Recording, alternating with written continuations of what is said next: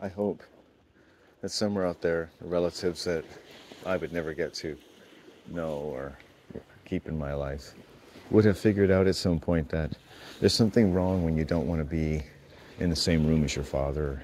When people call someone a wife or a son, and those terms probably don't apply compared to what is missing from these relationships that other people might be forgiven and might not, knowing nothing about nor empathizing with at all, and how completely isolating and doom laden it is for my mom to be in a room with people, his family or hers, and to be in the room with someone who had a sadistic and psychotic disdain for her as a human being.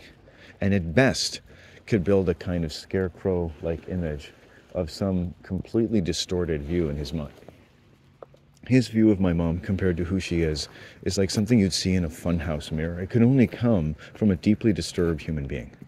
And all of that, and how it felt, and what I learned about it over time, and how I'd like to think that no one in this world would blame me and my mom for not wanting to be in the same room with him. Even if we didn't always know that, even if at some point we were unable, for various reasons of, of youth or infancy or infirmity, of fully understanding why we probably shouldn't have wanted to be in the same home or room with my father. Right?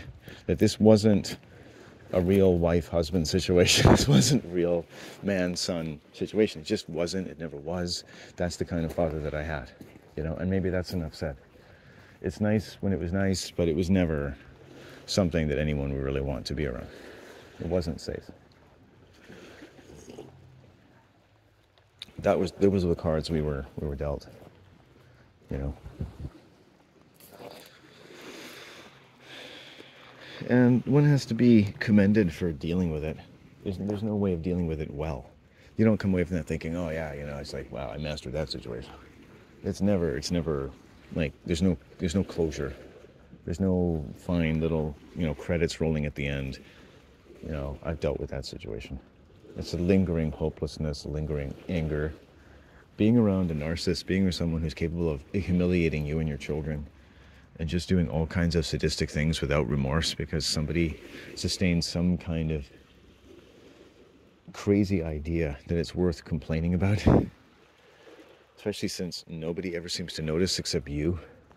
And he knows that because that's the way he likes it. That's the way he needs it to be.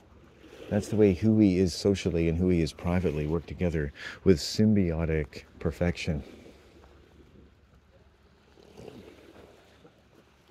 I knew, in some sense, parenthetically, that my father was really big into appearances, but I had no way, if you'll forgive me, of knowing the, the depth and the danger of the depth of how far that went into some of the worst things about my mother's life and ours and his behavior. At some point, he painted the front door of our house a kind of reddish orange. I guess it was a British thing. You know, it was really important to him. I guess he'd painted the house a couple times himself. I guess he had the right to do it, and it was nice. I guess it seems kind of positive. It seemed kind of special. No one else in the neighborhood did that. You know, and I think I try to. I think back on it now with dread. It was almost like biblical. You know.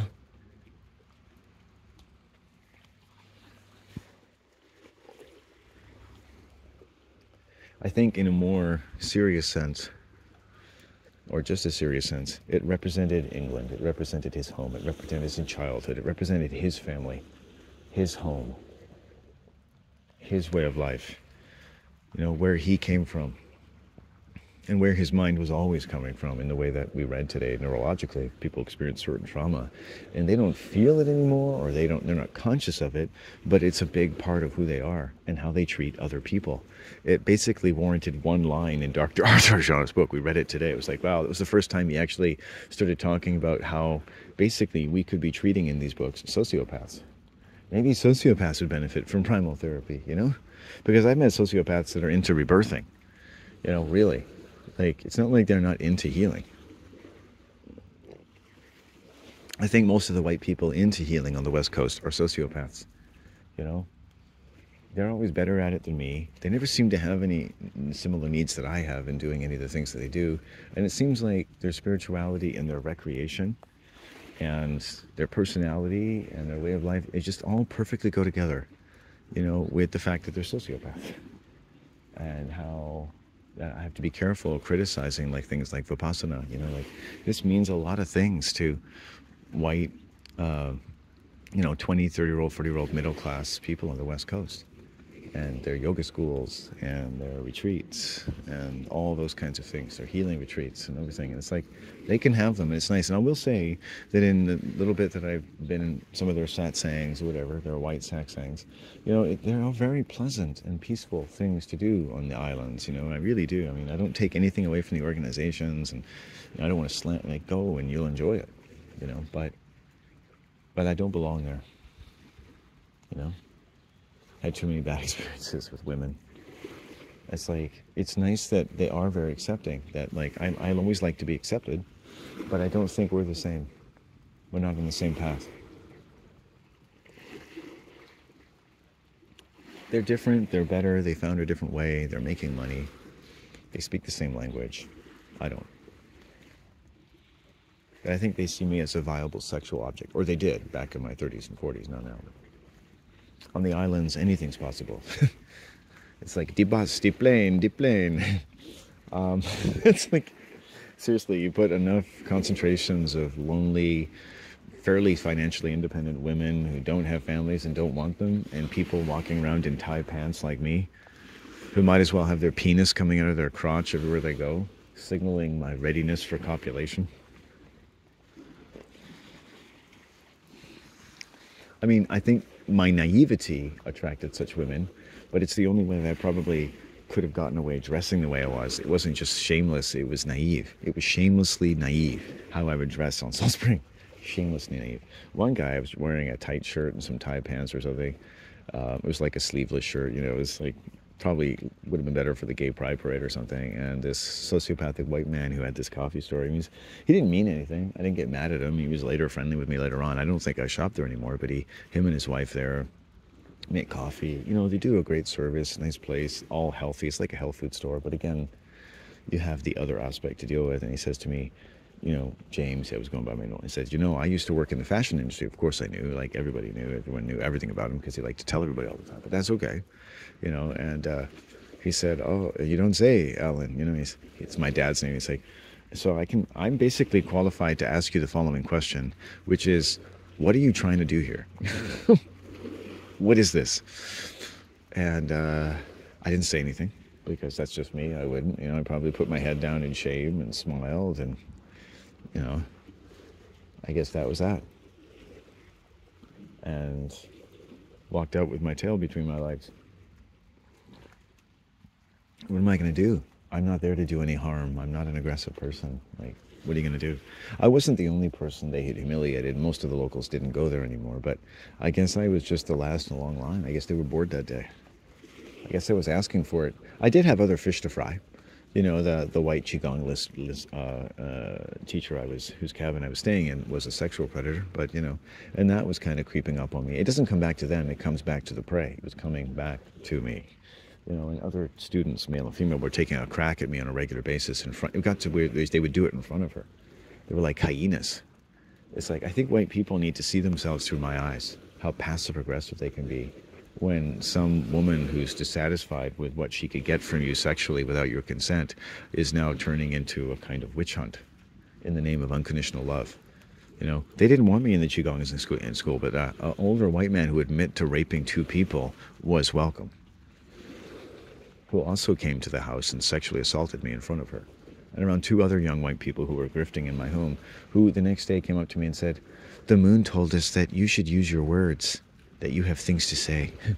Which I really think now took took to mean is I should have been more grateful for their existence and them stealing my money and defiling all my altars and humiliating anything to do with what belonged to me and stealing stuff and taking money and uh, you know basically just acting like two people who I suddenly realized had been sexually abused by their mothers and fathers. And I didn't get angry at them, and they just weren't the sweet little indigo children they used to be. And I guess life had changed. And, uh, you know, we didn't have time to talk about it. It was just all very different. But that happens with a lot of white people. They just show up at your door one day and everything has changed. Or you get a roommate, and the next day it's like, you know, you find out they're a sociopath. And you know. And it's just sometimes it was just kind of funny that at that particular place, how frequently it was happening, and how there was within a day of them being there, I was taken to the emergency room. It's a lot of what I call disintegrating energy on top of the woman who was already stalking me from within the home, and whose friends and other accomplices or other teachers were also starting to hone in on me. For what? Oh, no different. No, maybe then saying, you know, I'm upset that this person just humiliated me in front of the entire class for some reason. You know, they, they are aggressive, violent people. Or this woman just came up to me and threatened me right to my face and almost spit in my face uh, before we went into the Qigong school last night. And everyone seemed to be okay with that. It's like their mirror neurons just went off, you know. And uh, I'm pretty sure it has something to do with not giving her enough attention. And what's probably she's picked up is that from the moment I met her, I found her a little bit scary because I could tell immediately, I take mental notes, that she's very unhappy with that I didn't give her enough eye contact the first day she met me and that she was going to be on top of that. So she was already stalking me, right? And this person, the Qigong teacher, knew that. I told them that at the time, but they just didn't care, you see. They're selective listeners.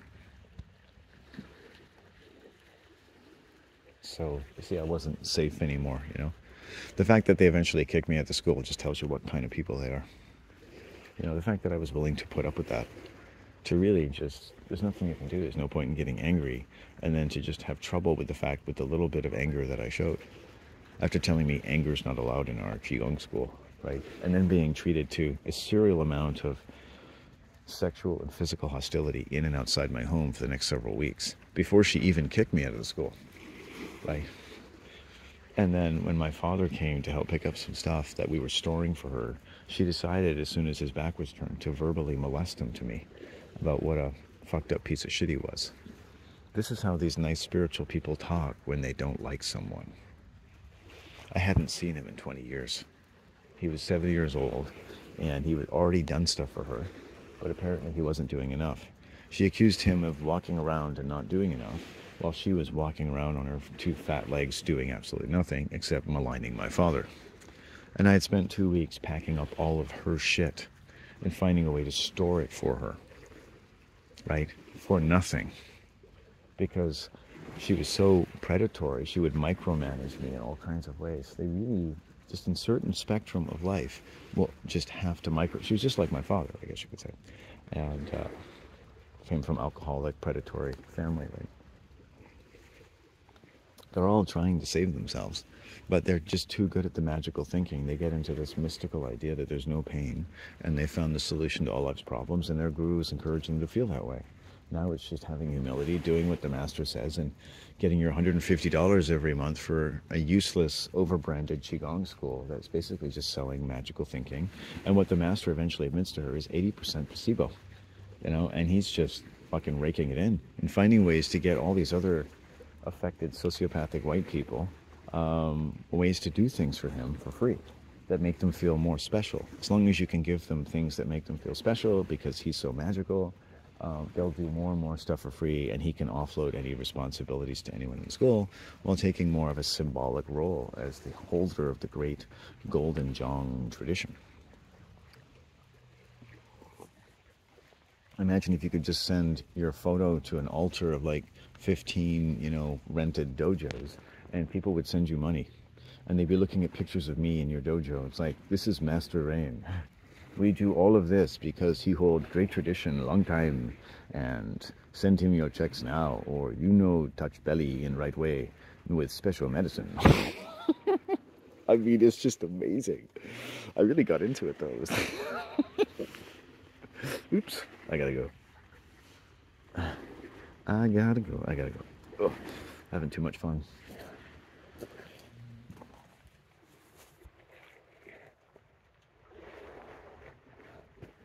You know, I'm laughing, but it was dangerous. I got physically hurt a couple times around the school in an emergency room kind of way. This was a sexually disturbed human being, no doubt about it. And I needed to heal, and I was living with a roommate who was uh, came from a rich Maine, American Maine family who was also a sexual predator and brought nothing but male and female sexual predators into the house. And uh, I had to live with it. You know, I say sexual predators, I suppose you might say that that should be reserved, reserved for some particularly predatory people, but I was particularly offended by it. I was particularly unsafe, and there was a particular tendency for me to lose my belongings, my money, and my ability to sleep at night in my own home, and at some point, my ability to even eat food or have a place to live. And you start to, around white people, you start to have things threatened. You start to lose things. Life tends to go a little downhill. and you don't notice it because you're a good white person, and really they're all so amazing. And, you know, you should just be more patient because they all need that. They need like a patient parent who can just take all of their interesting eccentric behavior. You know, they just don't see things. You know, you learn that people have blind spots, and these people have a lot of them, and they overlap in many areas where see me losing things with no explanation.